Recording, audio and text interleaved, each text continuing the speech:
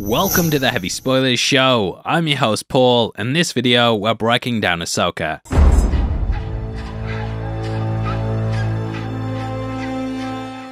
Episode 1 and 2 have just dropped online, and throughout this video, we're going to be breaking down the plot, Easter eggs, hidden details, and also giving our theories on where we think the series will be going. I don't want to waste any of your time, so let's jump right into it and begin with the red Lucasfilm logo and the character Poppins.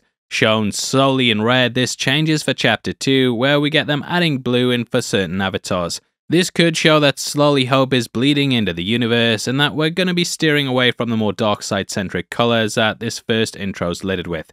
That also happened at the start of The Mandalorian as well, and that was to highlight how things were changing. Amongst them, we get the combat droids that we meet throughout the entries, and can also spot the helmet of Marrok, in episode 2, Marrok fights with an Inquisitor's blade, showing how a lot of the villainous stuff in this are remnants of the Empire. That plays off massively in the second entry at the Big Junk Factory, which we'll talk more about later on in the video. I also have a crazy theory for Marrok that you, you, can probably guess off the thumbnail, but yeah, going into that, we're, we're going to be talking about that later on. Now, timeline wise, this actually happens right after the events of the Mandalorian Season 2 Ahsoka episode, in which we saw her arresting the Magistrate and learning more about Thrawn.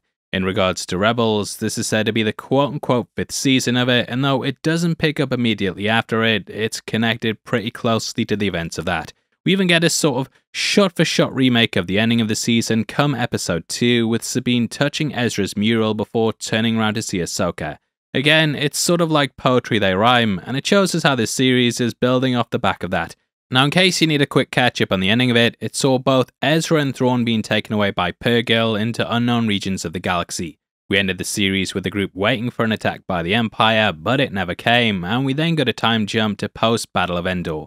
Zeb and Kallus ended up going under the secret hyperspace path called Lira San, and this was alongside Agent Kallus, which is where they saw the Lasat were now thriving. Zeb actually showed up in season 3 of The Mandalorian, and this might explain what happened to him between this and that. Now, we discover that Hera fought in the Battle of Endor alongside Rex and that she actually had a son called Jacen, though we don't see him in these two entries. In the Avatar bit, we also get Professor Huyang from the Clone Wars, who's played by none other than David Tennant. Now, in addition to this, there's then Chopper and Sabine's helmet, which then takes us into the first Star Wars series title crawl. Rather than beginning with the, golden text that was common in the Skywalker saga, we instead get red to highlight the dark side that's central to this show. This is kinda similar to the final arc of Season 4 The Clone Wars, in which they swapped over to a red title card, and this was due to Darth Maul being reintroduced. Now we learn that, though the New Republic have provided peace, there's still a plot to find Thrawn which would galvanize the Imperial remnants and then start another war. This is something that they kind of touched upon in The Mandalorian with the Shadow Council, but as we know, you know, it never comes to pass, at least judging off this the sequel trilogy. Now, the last paragraph talks about Ahsoka, and it kind of gives a lot of focus on the bit about her being a former Jedi Knight. This is very important to pay attention to, as I feel like this series is going to be uh, about her learning to embrace the ways of the Jedi once more. Later on, she says she doesn't follow Jedi protocol. Let's just say I didn't follow standard Jedi protocol. This is kind of indicative of Anakin's training, and both Baylan and Shin Hati also play up the fact they're not Jedi either. We are no Jedi. I think this is a central idea to the series as it comes into play with Sabine too, and there's going to be lots of Force sensitive characters carving out their own paths in a time when both the Sith and Jedi are at their lowest point. My guess is that Ahsoka will become one come the end of the series, and that she'll go and help Luke set up his Doom Training Academy that's gonna get smashed like it's the like button. Either way, the title crawl also mentions Morgan Elsbeth, aka the Magistrate from Season 2 of The Mandalorian. Back when that episode dropped, our editor Matt actually followed it up with a theory video on how Morgan Elsbeth was actually a Night Sister. We get that confirmed in these episodes, so I'm taking credit for that, Matt. You, you bloody twat. And if you if you say anything, you you're fucking fired. Now, in case you don't know, Night Sisters are a clan of witches that lived on Dathomir, and in Jedi Fallen Order, you actually ended up teaming up with one. There's lots of subtle nods to that game throughout both of these entries, and deep down, I hope we get a live action Cal Kestis showing up one day. I just don't know who I'd get to play him though. Maybe maybe that lad who plays Ron in Harry Potter. Maybe maybe, but yeah, drop drop your Cal Kestis perfect casting in the comments below. And I, pr- I promise this isn't bait to get more comments. Anyway, the Night Sisters are powerful and mystical warriors, which explains why the Magistrate was able to go toe to toe with Ahsoka. Now, we actually get lots of subtle nods to the movies in this opening, with us beginning by watching a ship coming in. This is similar to how A New Hope started, and there's lots of references to that early on. We're of course on a Rebel cruiser with white interiors, and both Baylan and Shin are shot in a similar way to how Vader entered. The costumes are similar to the Rebel forces in that, and they get their asses handed to them as well to highlight the Empire's dominance. Now, the ship appears to be the precursor to the Raddus, which was the main ship that the Rebels rode around on in The Last Jedi. In addition to this, there's also clear callbacks to both Return of the Jedi and The Phantom Menace. The shuttle arriving is akin to Vader dropping in on the Death Star, with the rampant smoke echoing how he made his entrance. There's also two Jedi type figures here, which riffs on Qui Gon and Obi Wan arriving at the beginning of Phantom Menace. Now, both Baylan and Shin are master and apprentice, and they do lots of subtle things with them to highlight this fact. Baylan is way more restrained with his use of the dark side, whereas Shin is aggressive and quicker to go and fight. This was something we saw most notably with Anakin and Obi-Wan, as the former just used to rush into fights, whereas the latter held back. Also, might be reaching, but I thought the line, We are no Jedi. was similar to, I am no Jedi. Now, the captain arrives to arrest them after realizing they're just Imperial remnants, but yeah, not a great plan, mate. Guessing Captain Hale just assumed these were disguised as Jedi and couldn't actually wield the Force, but yeah, it, it's a bold strategy that that doesn't really pay out. Now, they kick the crap out of them, and while Shin savagely busts them up, Baylan calmly walks through the corridors, killing the rebel forces. It's very reminiscent of the Vader hallway scene from Rogue One, with this also being mirrored in Luke's arrival in the Mandalorian Season 2 finale. Now, sadly, Ray Stevenson, who played Baylan, passed away earlier this year, and the, the guy absolutely crushes it in this role, which, which makes it suck knowing that he died before receiving all the love that he would have got for this. The episode actually ends with a direct tribute to him, and it, it's really sad knowing this is going to be such a big role for him that he never got to see. Now, Baylan ends up rescuing Morgan from his cell, which feels very reminiscent of Leia's rescue in A New Hope. Morgan tells him that Ahsoka's now looking for a MacGuffin to find Thrawn, and it's from here that we then cut to the title sequence. Now, one thing I, I love about the score throughout the Ahsoka bits are that it's clearly based on ancient Japanese music. Lots of Star Wars was based on things like Hidden Fortress and Kurosawa's films, which thematically pulls across to this lone samurai thing they have going on. The entry is also titled Master and Apprentice, which ties in not only with Baylan and Shin, but also Ahsoka and Sabine, who we'll talk more about in just a bit. Master and an apprentice. That would be my assumption. We actually join Ahsoka arriving at a temple on Darkona, which our new host MT pointed out riffs a lot on Zeffo. He noticed that dotted throughout the area we have figures that are holding astriums and that their hand positions even reference the one from the Zeffo tombs. Theorizing that these were an ancient alien race that studied the Force in the galaxy, the man also brought up the Triquetra, which appears throughout both episodes. The Triquetra symbolizes a trinity, and the figures themselves may be a nod to the three ancient figures that were found on Zeffo.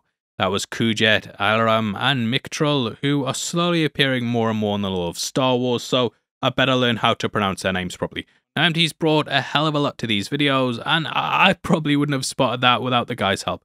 If you want to see the work he's done on both Guardians of the Galaxy Volume 3 and Across the Spider-Verse, then they're going to be linked below, so definitely check them out. He's also doing his own big Ahsoka theory video that's coming on the channel very soon, so keep an eye out for that and make sure you're subscribed. Either way, we learn this was a Night Sister temple, and at one point they are referred to as witches. Episode 2 is actually called Toil and Trouble, and this itself is a reference to the witches from Macbeth. Now, the inside of the temple is adorned with wall markings, and these somewhat make a return in the credits to provide the art style of that. They kinda riff on the ones from Jedi Survivor and also seem like a golden version of the World Between Worlds. In Rebels Season 4 Episode 13, Ezra travelled through a doorway to this, and it carried similar markings that all kinda tie this together. It was at this world between worlds that Ezzy rescued Ahsoka, and her returning here is kind of symbolic of her attempting to track down both him and Thrawn. Finally getting one of the golden balls, this again looks like the ones from Fallen Order, and its puzzle helps unlock the unknown knowledge. Now, outside of the tomb, she's ambushed by HK droids, which I want to say are the evolution of Magna Guards.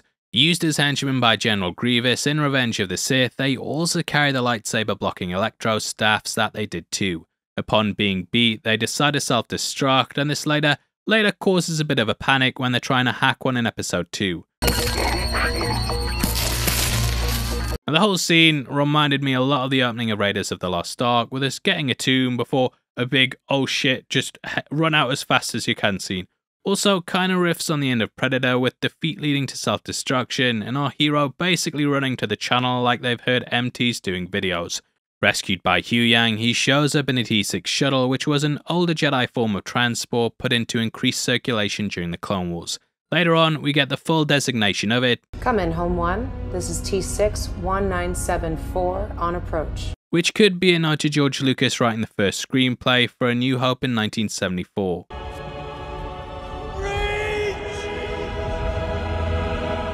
We also get a radio message. Fulcrum, this is Home 1. Do you copy? Over. With the codename Fulcrum being something that Ahsoka used throughout Star Wars Rebels. Learning of the prison transport attack, we see X-Wing and a New Republic cruiser investigating it and can see that it's completely fucked up the ship.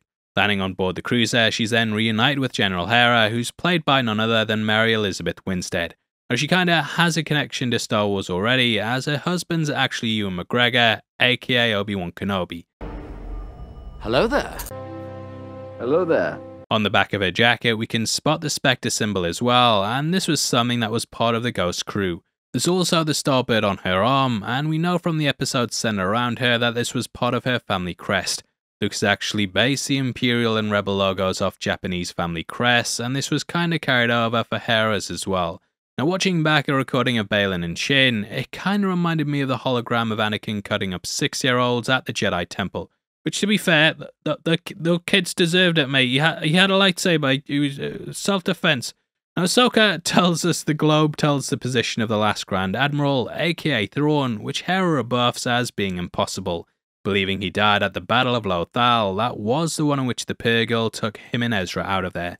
We can also see some calamari commanders, and as a species they became high ranking ones amongst the rebels and therefore New Republic. Realizing they need to figure out how the globe works, they then head out to Lothal to seek out Sabine. Sabine and Ahsoka made a promise to find Ezra at the end of Rebels, but as we learn, things didn't go that smoothly. Honestly, one of the criticisms I have of this show, uh, and Lucasfilm stuff in general, is that they tend to leave the characters on a positive high note, and then when they bring them back, they're in the opposite place of what they were. This just seems to me like they just do to cause some dramatic tension, and all this stuff, it always happens off screen. This was the case with both Luke and Indiana Jones as well, and it's kind of weird giving us a shot for shot remake of the ending of Rebels when they could have just hit the ground running from that point instead of taking two hours to get back to it. It's a nitpick. I understand I'm going off going off tangent there, but it was obvious that we were going to end up back where we started, so it made it feel a bit meandering. Anyway, nitpick aside, they go to Sabine, and this is because of how smart she is as an archaeologist. She was the one who translated the Lothal runes, and in the end, she helped to free the planet. Now, the monument still stands strong, and we join a celebration for the victory of the Battle of Lothal, which is headed up by Ryder Azadi. Played by Clancy Brown, he's now doing the character he voiced in live action. However, this isn't the only live action Star Wars role that the actor's been a part of. He actually showed up in season 1 of The Mandalorian as Burg, and ironically, that was to do with the prison escape episode. We see as cam droids film the entire thing, and these also come from the expanded lore. Now behind him is the mural for Ezra which depicts the crew of the Ghost, along with those two giant Lothal wolves. White and Black, MT was saying these could potentially depict the light and dark side of the Force, which is something that could be connected to Ezra. Either way, it's a perfect recreation of the one from the series, with it even carrying across the animated style that was used for that. Sabine was supposed to be giving a speech there, but we find her doing a best Akira impression on top of a speeder bike, listening to punky Japanese style music. This was this was something that appeared in Rebels, and her passion for customizing her stuff can also be seen here too. On her helmet, we can catch a drawing of a Loth cat, and she's also wearing one of Hera's jackets. We watch as she runs rings around the security forces that have been ordered to take her in, and it's clear that yeah, no one's a real match for her. Now she's living in the Lothal Communication Tower, which fans of Rebels will instantly recognize. This location was a hangout of Ezra before he joined Ghost, and we can also catch some little things to make it home. There's a Loth cat, murals to them, and stormtrooper helmets with crosses on them showing how many Sabine took down. Dotted around the room are both Storm and Scout Trooper helmets, and we also have her Mandalorian armor hidden away, symbolizing how she's turned her back on it. Sabine was originally the one who handed the dark saber over to Bo Katan, but she's no longer with them and is kinda like a lone gun. She was trained as a Jedi, but both Kanan and Ezra sensed that she wasn't actually force sensitive. Now in her belongings we can also catch another of Hera's patches, and Sabine actually took this in Rebels and used it as part of her armor. Still pining for Ezra, we can also see that she carries a holographic message for him, similar to the one that he left everyone at the end of Rebels. As she sits down and watches it, we can also catch a wolf drawn onto the wall, and she's kind of just existing instead of living. From here we cut to the Night Sister Temple, and it's at this point that we're also introduced to Marrok. Marrok actually has some ties to the expanded lore, and the bounty hunter Embo actually had a pet wolf that carried the name. The name itself actually comes from Sir Marrok of the Round Table, who was a knight of Arthurian legend. In the tales, Marrok was turned into a wolf by a witch, which is where he continued to serve the realm in his beast form. Now it's theory time, theory time, get me fast, theory time, theory. One moment in time. So obviously, we don't know who Marrok is, but they're a keen force sensitive character who's got leanings of the dark side I actually think it would be pretty wild if this turned out to be Ezra, and that's why the character's wearing a mask. Morgan is a witch, and she may have turned Ezra into a quote unquote wolf by corrupting him through the use of the dark side. Ezra was also close to the Lothwolves, potentially hinting at why he now carries this name. Could be a big reveal down the line, but yeah, it, if it's not made, it's just few time, few time. If it's not meant to be taken serious, you dumb bitch. It's you can't say I'm wrong. We can, but it's just an opinion. One moment in time. Now we've also just launched an Ahsoka and Grogu inspired t-shirt over at our merch store below, which is it's just below the video. All of our Through Time, Pulp Fiction and Marvel inspired merch is down there and it's the best way to help support the channel. Anyway, we cut back to Sabine and can catch her having a sort of force stream about Ezra. Awoken by an alarm, she then steps out of the tower and we get a shot that echoes the ending of Rebels. That had Sabine leaning on the railing of the tower and she watched the T6 fly overhead with X-Wings escorting it. That happens here too, and it's meant to bring things full circle from the last time we saw Sabine and Ahsoka. Sabine goes back on the ship and Ahsoka goes off to take a dump, I think, and we see Sabine's bed on the T6 from her training. This contains sketches of Loth cats like her bed in the tower, as well as TIE fighters and the droid chopper. We get some of the tension between the pair playing out, with Sabine calling Ahsoka Jedi and them both blaming each other for their failed relationship.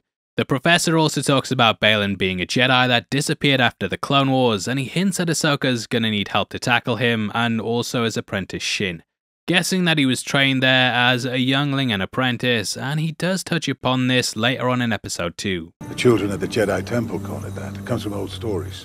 If he was one of those kids, this is where he'd have heard it, and it's a nice line that kind of paints out his backstory. You also get a little hint that she hasn't found Luke yet, as you can kind of take her thinking she's the only Jedi out there other than these two. Running off with the ball, we also watch as Sabine is stalked by Shin's probe droid, which is very reminiscent of Darth Maul's probes on Tatooine.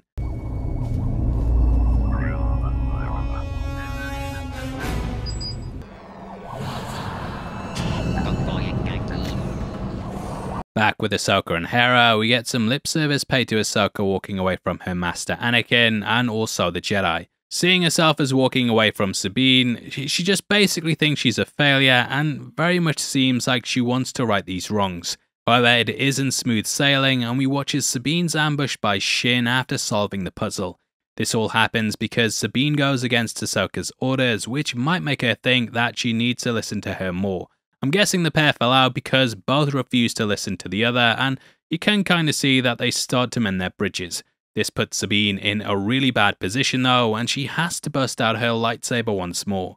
Now we learn that this is actually Ezra's second lightsaber, which we saw him using throughout most of Rebels. Though she puts up a fight, Sabine's bested pretty easily, stabbed and left for dead, which is where we close out the episode.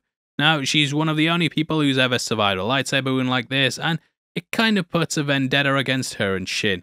Can kind of imagine Qui-Gon's Force Ghost just seeing another person survive this, uh, and, and standing off and being like, you damn son of a bitch. Now, either way, I really enjoyed their fight, and though episode 1 had some dips in terms of pacing, I think on the whole it worked pretty well. There was a lot of atmosphere to it, and all the stuff with Shin and Baylan really took this above just being more mundane Star Wars.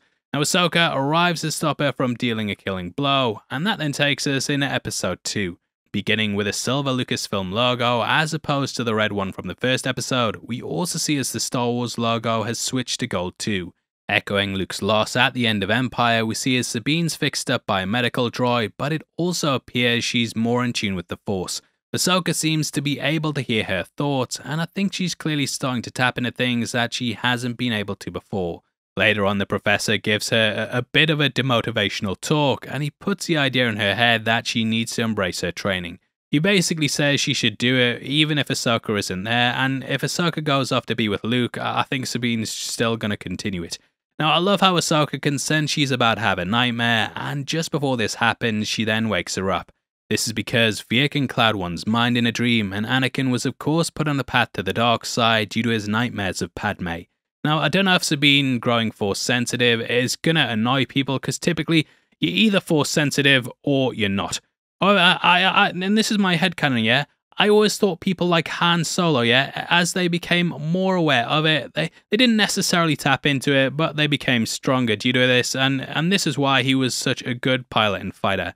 What do you mean you've turned the video off? Now, what I'm saying is, is that basically, if if you if you think hard enough, mate, you you yourself you can become a Jedi Knight, and the thumbs up's right there. Force force push it.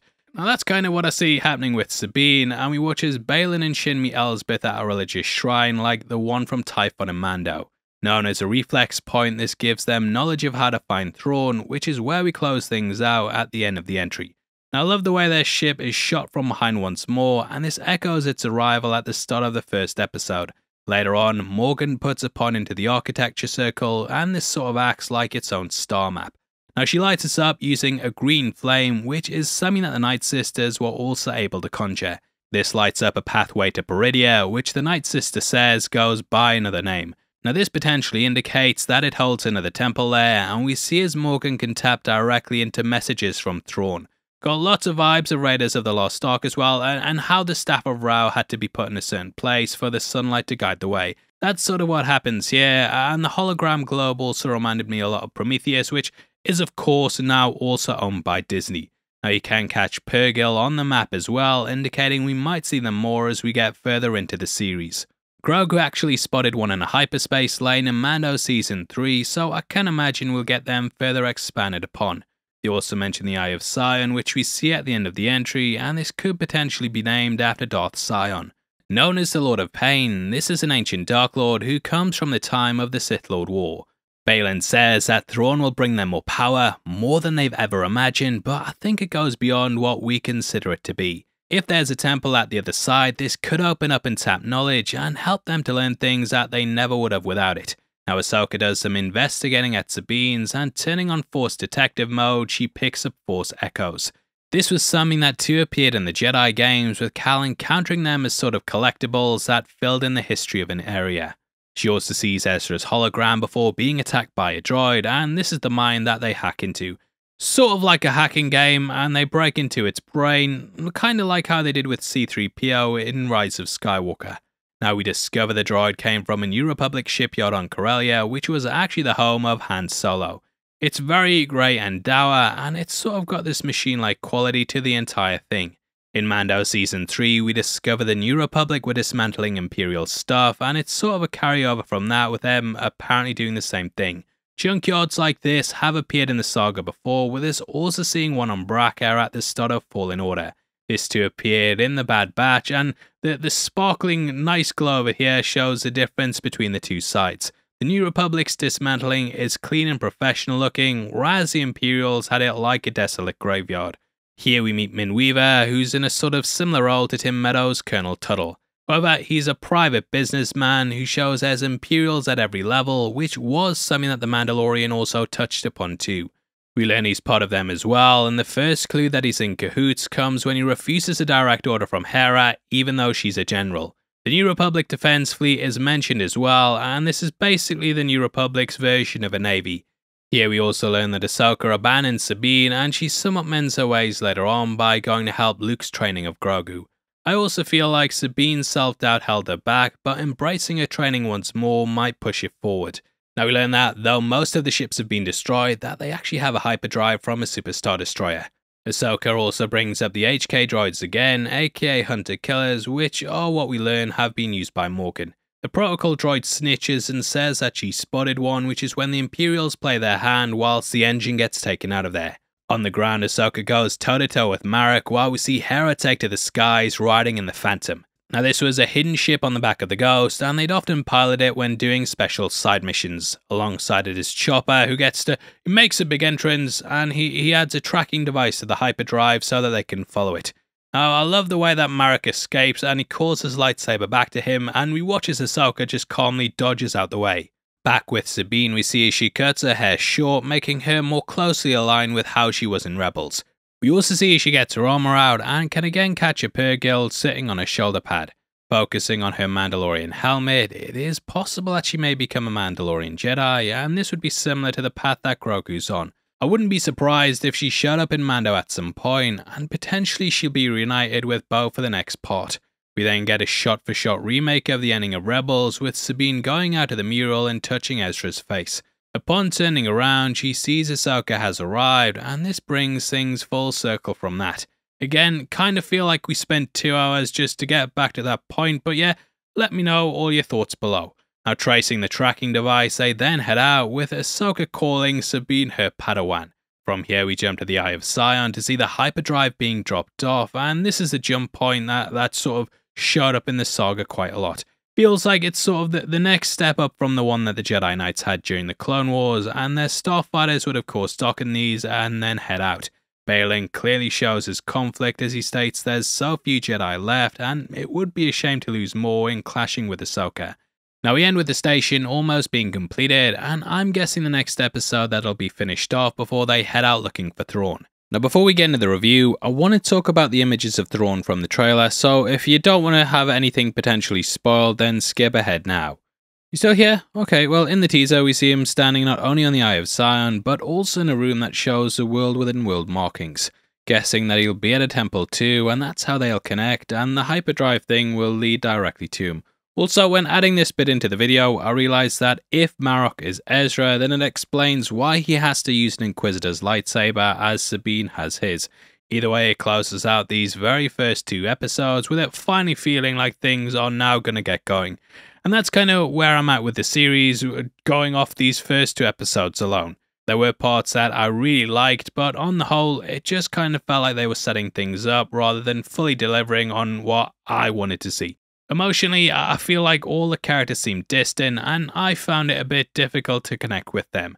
They weren't the more light-hearted and charismatic ones I grew to love in Rebels, uh, and instead, I, I, I don't know, I just felt they seemed a bit stoic. Now, I'm not damning the show just yet, but I can totally see why they released two episodes at once. Pacing wise, it, it, was kind of all over the place with there being lots of slow moments and then them just dropping in the odd action scene to try and keep people's interest. It's still early days, but yeah, I thought this was a bit hit and miss, uh, though I know I'm in the minority judging off the reviews. Always kind of feel bad saying I wasn't enamored with something, as I know you guys probably want someone really enthusiastic about a show bringing you breakdowns on it. It was fine, but yeah, I- I'm hoping for a bit more, and maybe next week, now the setup's out the way, we can really get into it. Now, as you probably know, the release time has changed, and we're going to be getting episodes at 2am UK time. I'm going to wake up just normal time next week and see how we get on in terms of releasing a video slightly later and how much it affects the views, but I'd kind of feel bad telling all the team to get up in the middle of the night for videos when, you know, they've got families and stuff. So yeah, probably be dropping our breakdowns early morning on the Wednesday, but keep an eye out for it if you enjoyed this one. Please drop a like on the video if you did, and if you want to support the channel as a member of the Spoiler Society, then please click the join button. It helps all these videos get made, keeps a roof over our head, lets us be independent, and it goes such a long way to helping us out. As a thank you, you'll get early access to videos every week, and yeah, ho hopefully all the members who've signed up are enjoying the, the early content. Now, if you want something else to watch, you've got a breakdown of A New Hope on screen right now, which I guarantee you, even if you've seen that movie a thousand times, which you probably have, there's going to be something in there that you haven't noticed before.